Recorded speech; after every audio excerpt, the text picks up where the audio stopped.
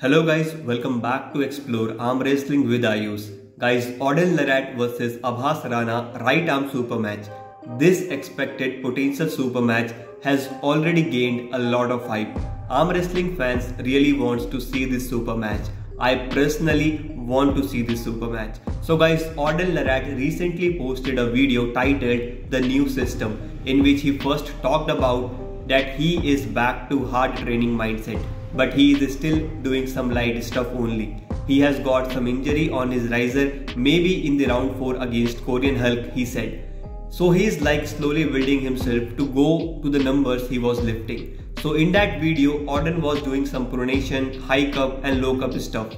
And then Auden said his next opponent is going to be very strong. And then he talked about Abhas Rana. He said Abhas is Abhas is great. Auden wants to pull him. He has got the Asians this weekend and he is excited to see him. And he has got a strong hook and he's like 105 kg, heavier than Auden. And then Auden said I'll also reach there.